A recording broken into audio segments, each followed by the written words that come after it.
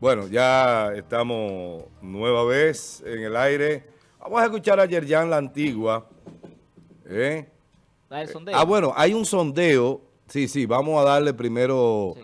eh, vamos a quitarte un chin de tiempo a ti. Sí, sí, sí. Va- va- Vamos, Vamos a el vamos ver un sondeo que tiene Arismendi La Antigua desde la calle, en vivo. Israel. Son estas imágenes, producidas ahora mismo. Vamos a ver sobre el tema que nos tiene Arismendi, tema de los cambios políticos, el discurso de Ah, Leonel, etcétera. Adelante. Muchísimas gracias. En esta ocasión salimos a las calles para escuchar la opinión de la gente, para ver qué tan fácil sería para el PLD ganar ya las elecciones con la salida materializada del expresidente Leonel Fernández. No, ¿O acompañarlo si eso va de partido? que haga lo que quiera, que, que sabe. No, no, el que pidió, pidió. Que patalea ahí, que él pidió. Eh, no, yo no.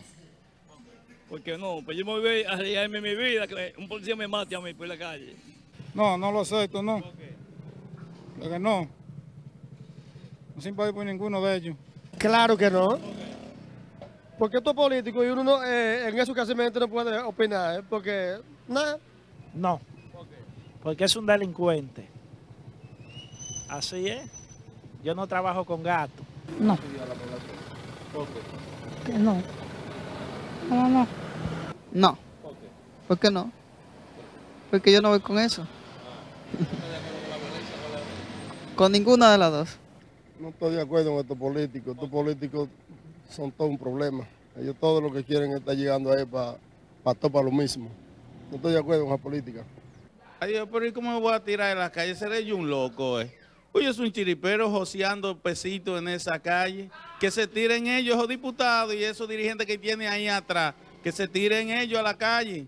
Que esos son los que deben de tirarse a la calle. Nosotros, nosotros braviando para pagar impuestos y sobrevivir en este país. eh. No, señor.